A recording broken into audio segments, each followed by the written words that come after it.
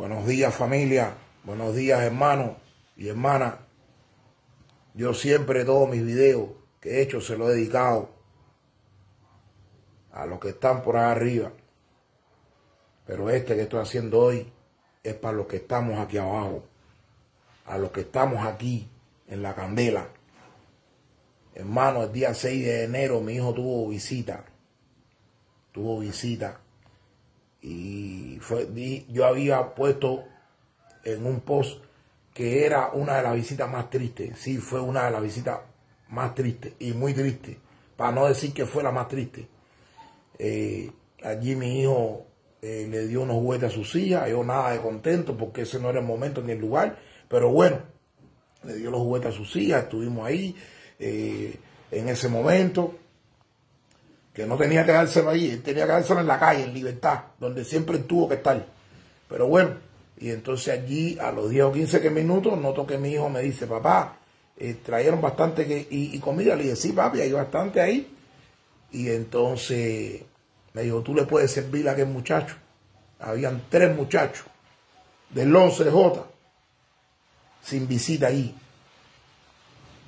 Le dije, sí, le servimos a los muchachos, comieron, le servimos de todo, comieron. Esos muchachos del 11J tuvieron visita, porque le servimos de todo, lo que comió mi hijo, lo mismo que comió mi hijo, y comieron él.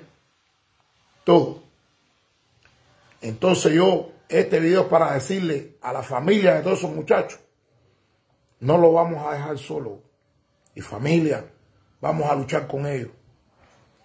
Mi hijo está en el edificio 1 cuarto piso, donde están los recalcitrantes, los, residentes, donde están todas esas personas. Y imagínense ustedes si yo dejo a mi hijo donde hay hambre, de todo. Y todas esas personas, todos los recalcitrantes, estaban con su familia ahí. Los carteristas, lo que sea, lo que, lo que, lo que han hecho, estaban con sus familias ahí. Los únicos tres muchachos que no tenían visita eran del 11J. Aquello me partió el corazón. Aquello me partió el corazón. Aquellos muchachos sin visita aquí me partió el corazón. Familia, ellos no están por robar. Ellos no están por asaltar.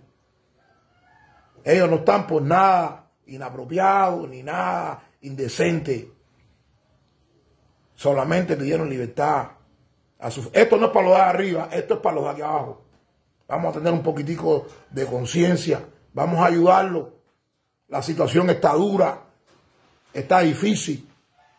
Por eso es que tenemos que abrazarnos y unirnos y que no lo dejen solo, tan solo en alma, esos muchachos allí.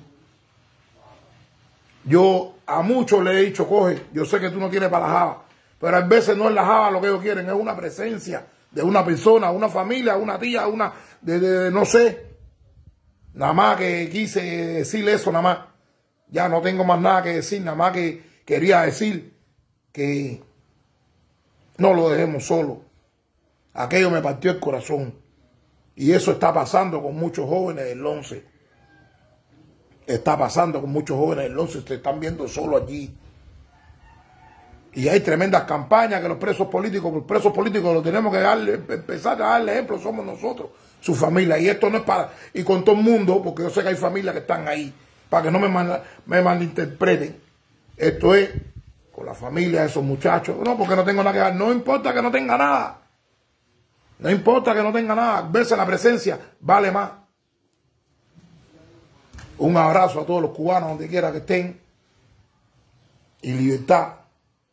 Seguimos luchando por, por, liberarlos a todos. Aquí yo no hablo por uno, yo estoy hablando por todos los que pidieron libertad. Libertad.